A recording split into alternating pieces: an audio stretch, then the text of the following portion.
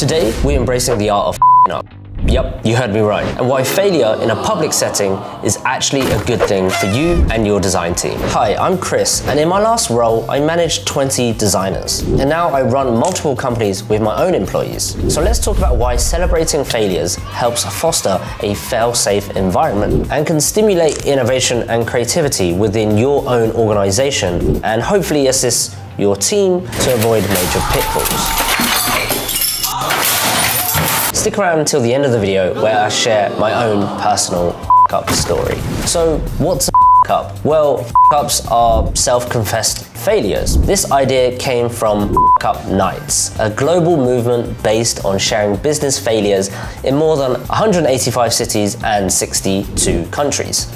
Ups are essentially the exact opposite of wins. We're destigmatizing mistakes to reinforce accelerated learning. Companies that stand out typically have this kind of approach to failures.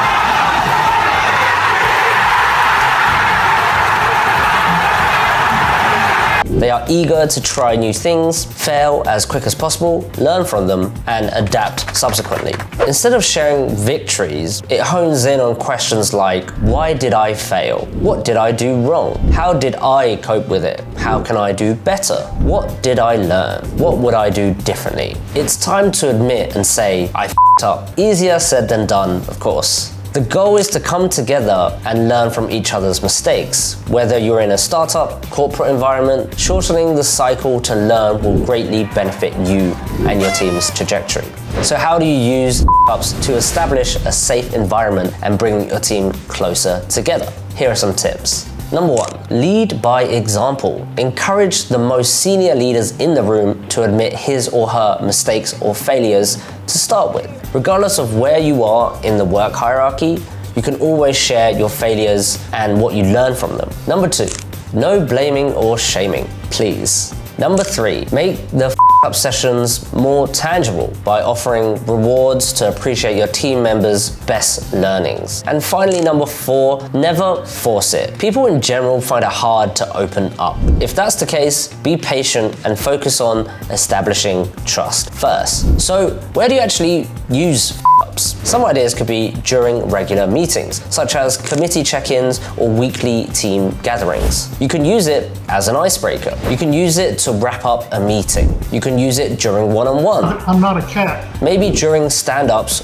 or during a workshop. Here are some prompt questions to ask yourself or your team. What did I fail at this week? What didn't go so well? What did I do wrong this week? What made you feel like this week? How did you cope with it? What challenges did you face? How can you do better? What did you learn from it? What would you do differently? As promised, here is my personal up story. When I decided to leave my head of product design role back in 2020, I prepared to address the team for the final time. I outlined problems I see, how we can potentially tackle it, and admitted how I up. And this is how. I wasn't transparent enough. I didn't communicate this enough. I didn't fully take ownership. Being able to share this vulnerability and lessons learned meant others were more open about the things they could have done and what they can still do in the future. A new information of struggles, mistakes, and how we could mitigate them started to surface. It was a productive conversation we needed, albeit not soon